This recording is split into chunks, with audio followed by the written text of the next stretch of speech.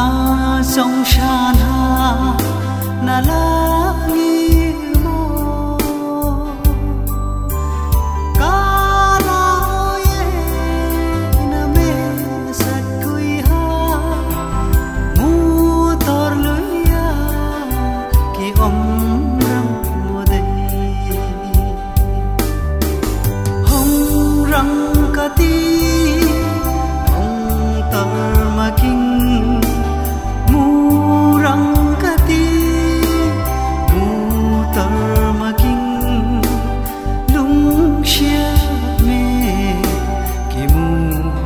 tràn